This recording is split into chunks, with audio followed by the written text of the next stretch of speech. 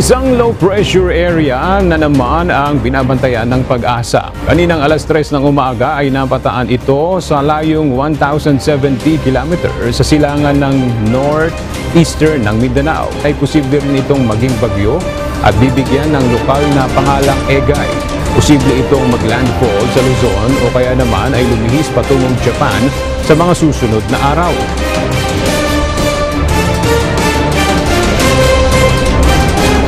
Samantala ho, no, patuloy nating binabantayan itong bagong low pressure area na nasa labas ho ng Philippine Area of Responsibility. Huli natin itong namata na sa 1,070 km silangan ng uh, northeastern Mindanao. Ito ho nga low pressure area na ito, base ho sa ating pinakahuling datos, ay posible maging bagyo sa sunod na isa o hanggang dalawang araw. At posible ho ngayong araw ng lunes, ay pumasok na ito ng Philippine Area of Responsibility. Wala pa naman itong direktang epekto sa anumang bahagi ho ng ating bansa, partikular na sa Visayas o Mindanao.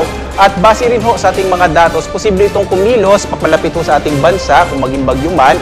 Ang usual ho kasing track ng mga bagyo kapag July, yung bahagi ng Luzon, o kung minsan ho ito ay lumilis siya o nag-recurve patungo sa may bahagi ng Japan. So kaya inanyayahan ko ho kayong lagi kayong mag-update sa pag-asa Partikular na po no, sa binabantayan natin na low pressure area na malaki ngayon chance maging bagyo sa mga susunod na araw. At narito ang ating inaasahang panahon, partikular na sa iba't ibang bahagi ng ating bansa. Simulan ho natin sa Luzon.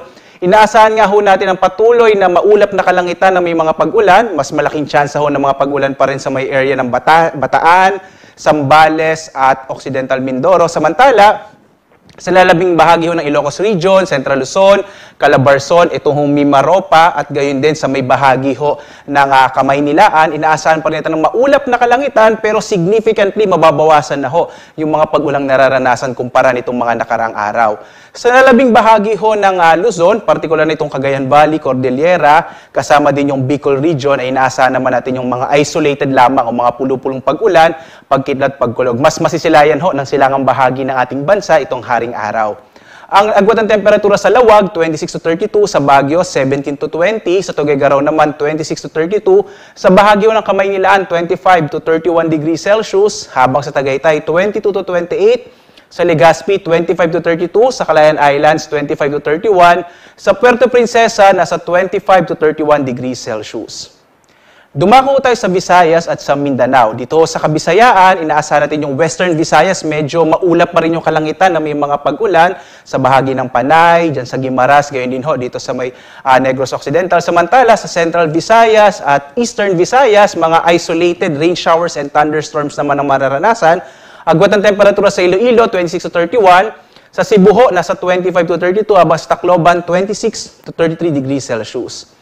Mas malit naman yung tsansa ng mga pag-ulan dito sa may bahagi ho ng Mindanao pero asahan pa rin yung mga isolated rain showers and thunderstorms. Agwat ang temperatura din sa Zamboanga nasa 25 to 32. Sa bahagi ho ng Cagayan de Oro nasa 24 to 32 habang sa Davao 26 to 32 degrees Celsius.